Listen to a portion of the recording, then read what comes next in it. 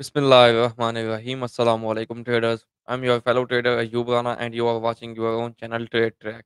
आज की वीडियो में हम gold, US oil, Nasdaq and forex pairs को 18th ऑफ़ अक्टूबर वेडनेसडे के लिए एनालाइज करेंगे। कल की बात करें तो अल्हम्दुलिल्लाह परफेक्ट डे था कल और हमारी गोल्ड की जो एंट्री थी वो परफेक्ट रही, सिल्वर की एंट्री परफेक्ट रही, ऑयल में जो एनालिसिस आपको बताया गया परफेक्ट उसी लेवल से बाइंग निकली और नैस्डैक में जो लेवल आपको बताया गया सेलिंग निकली। तो परफेक्ट डे था और अलहमदिल्ला अच्छा प्रॉफ़िट बनाया गया।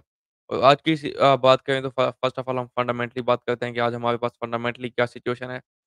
देखिए फंडामेंटली अगर आप इकोनॉमिक कैलेंडर देखें तो कोई एज़ सच आपके पास बिग इवेंट नहीं है बट जो जियोपॉलिटिकल रिस्क है, रिस्क ऑफ़ फैक्टर है, यानी कि ये रिस्क ऑफ़ उस टाइम इस सिचुएशन को कहते हैं कि जब इन्वेस्टर्स रिस्क नहीं लेते।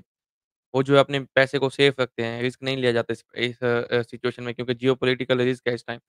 और लोग चाह रहे थे सेल करना गोल्ड को कल और मैं बता रहा था कि इसको सेल नहीं करना। मैं पिछले एक महीने से कहता हूँ कि इसको अभी सेल नहीं करना सेल नहीं करना। रीज़न क्या है कि जियोपॉलिटिकल रिस्क है और अभी इसको आपने डीएक्सवाई के साथ कंपेयर नहीं करना। अभी आपने इसको टेन या यील्ड्स के साथ कंपेयर नहीं करना क्योंकि जो गोल्ड है इसकी खुद अपनी एक वैल्यू है और ऐसी जियोपॉलिटिकल जब रिस्क होता है, रिस्क ऑफ़ सिनेरियो होता है तो gold as a safe haven करता है तो ये किसी चीज़ को यानी कि डीएक्सवाई या अ, यूएस टेन या यील्ड्स के रिलेशन को फॉलो नहीं करता।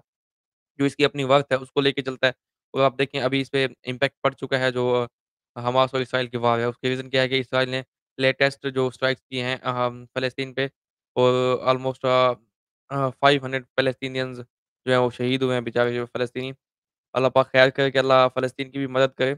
तो आपको क्या करना है कि इस सिनेरियो में आपको गोल्ड को बिल्कुल भी सेल के बारे में सोचना भी नहीं है। डोंट सेल द गोल्ड ठीक है?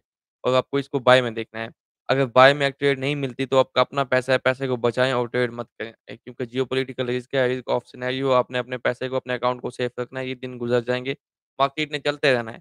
आपके आपके अकाउंट में पैसा होगा तो आप बाद में पैसा कमा सकेंगे।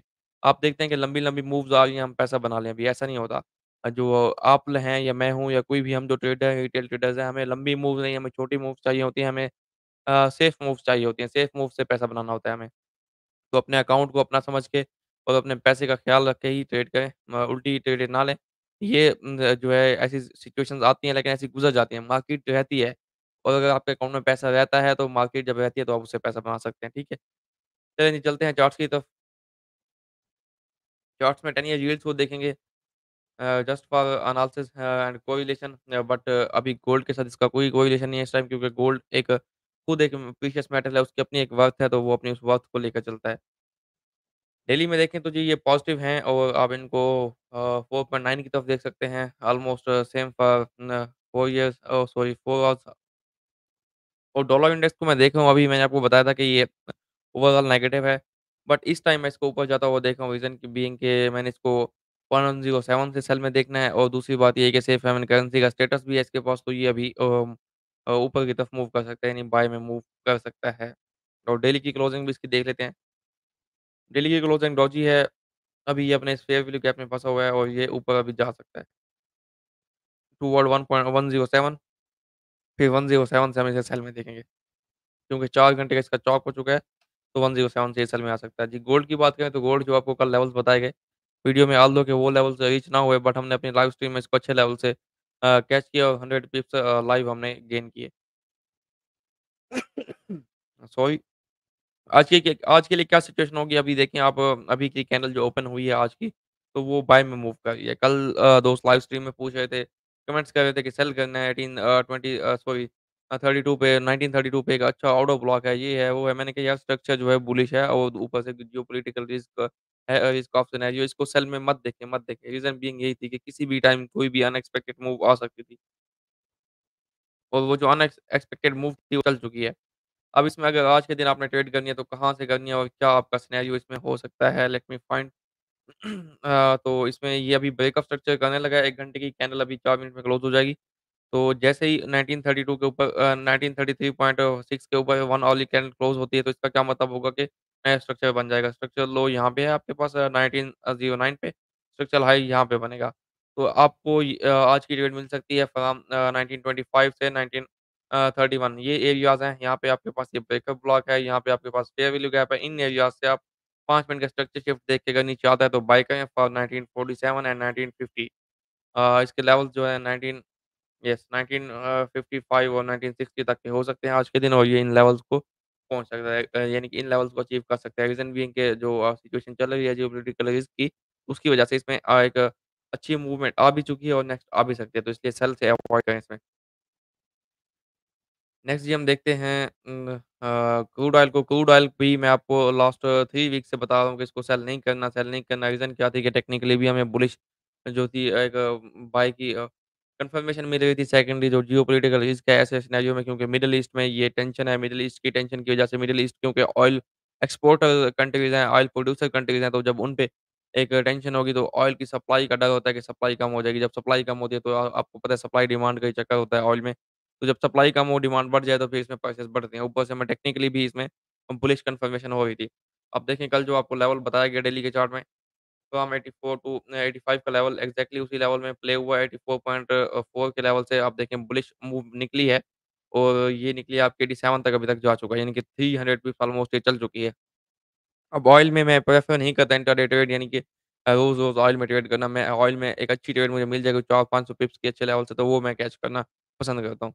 इंट्राडे में सिर्फ़ गोल्ड में करता हूँ तो आपको जो लेवल बताया गया अल्हम्दुलिल्लाह परफ़ेक्टली वो लेवल्स प्ले हुए।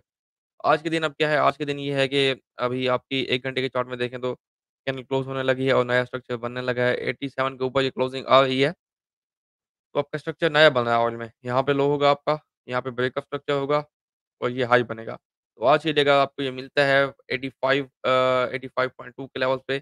तो इन लेवल से आप इसको बाय के लिए देख सकते हैं पाँच मिनट का स्ट्रक्चर शिफ्ट देख के for the levels of 89 and 90 और ये 90 का लेवल्स मैं आपको लास्ट थ्री वीक से बताता हूँ कि 90, 92 डन एंड डस्टेड है। टेक्निक जब आपको टेक्निकली भी कन्फर्मेशन हो जाए, उधर से फंडामेंटली भी कन्फर्मेशन हो, तो आपको अपने लेवल्स पे यकीन होता है। तो ये देखेंगे 90-92 के लेवल्स ये ईज़िली अचीव कर लेगा। सेल में ऑयल में भी सेल नहीं करना। ऑयल की भी मैंने आपको रीज़न बताई है कि इसमें जियो पोलिटिकल की क्या रीज़न बन रही है, तो इसमें भी सेलिंग अवॉइड कीजिए। नैस्डैक देखें तो अल्हम्दुलिल्लाह परफेक्टली प्ले हुआ, कल भी नैस्डैक ने हमें ऑलमोस्ट आप कह लें कितने पिप्स डिलीवर किए let me count. I was in self in Nasdaq from 179 and it went up to 955 ठीक है, ऑलमोस्ट 200 पिप्स नैस्डैक ने भी हमें डिलीवर किए।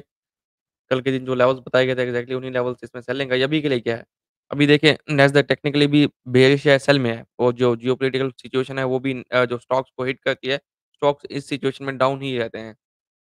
तो आपने नैस्डैक को अभी तक सेल में देखना है अनटिल एंड अनलेस 15,240 के ऊपर कोई आपकी 15 मिनट की क्लोजिंग आती है, 30 मिनट की क्लोजिंग आती है, तो आपका सिनेरियो चेंज हो सकता है। अदरवाइज़ नैस्डैक को सेल कीजिए, सेल कीजिए, सेल कीजिए। टारगेट क्या होगा? टारगेट होगा 14,800 uh, 14,000 uh, 600 and after that 14,200 is my final target in Nasdaq. तो 15 मिनट के चार्ट में मैं आपको समझा देता हूँ कि आपने सेल कहाँ से करना है और कैसे करना है, स्ट्रक्चर क्या है इस टाइम। अच्छा जी, स्ट्रक्चर ये है कि अभी तक जो आपका स्ट्रक्चरल हाई है 15,240 तो अनटिल एंड अनलेस 15,240 के ऊपर कोई 30 मिनट की क्लोजिंग आती है अ, तो फिर हम इसका सिनेरियो कह सकते हैं कि बुलिश हो गया। अदरवाइज़ आप इसे इसे यहाँ से सेल कर सकते हैं। एरियाज़ आपके सेलिंग के होंगे जी 15,180 15,170 इन एरिया से आप सेल करें। 15,200 के आस-पास भी आता है तो इसको सेल में ही देखें। स्ट्रक्चर लो था कल इसका जो अ, फिर 14,009 अ, 40 के आस-पास इसको इसने ब्रेक नहीं किया तो स्ट्रक्चर अभी तक वही है। ये हाई है और ये लो है। इन दिस लेग आप इसको अगर स्टीम पॉइंट ऑफ़ इंटरेस्ट पे सेल करते हैं तो स्टॉप लॉस आपका छोटा हो जाएगा। सेल करें profit target 14,800 600 and after that final target जो मेरा 14,200 तक है इसमें। यूएस 30 को मैं अभी लीव कर रहा हूँ। यूएस 30 अ, अभी उस तरह से परफ़ॉर्म नहीं कर रहा तो यूएस 30 को स्किप करें।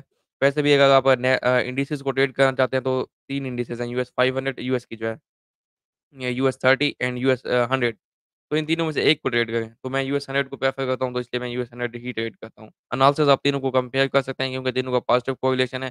एसएमपी डाइवर्जेंस देख सकते हैं तीनों को एनालाइज़ करके बट ट्रेड एक को करें, ठीक है? Don't put all your eggs in one basket तमाम जो अपने अपना पोर्टफोलियो को डिवाइड करना है, तमाम जो आपका एसेट है उसको या कह लेंगे आपके अंडे हैं एक ही बास्क में बास्केट में नहीं डालना क्योंकि इंडाइसेस एक ही तरफ़ मूव करती हैं। अगर आपका एक एनालिसिस गलत हो गया तो आपके तमाम स्टॉप लॉसेस हिट हो सकते हैं। तो इसलिए तीनों में से एक एसेट को ट्रेड करना है। आफ्टर दैट सिल्वर जी सिल्वर वाज़ स्पॉट ऑन जैसा कि आपको बताया गया वीडियो में। अल्हम्दुलिल्लाह परफेक्टली।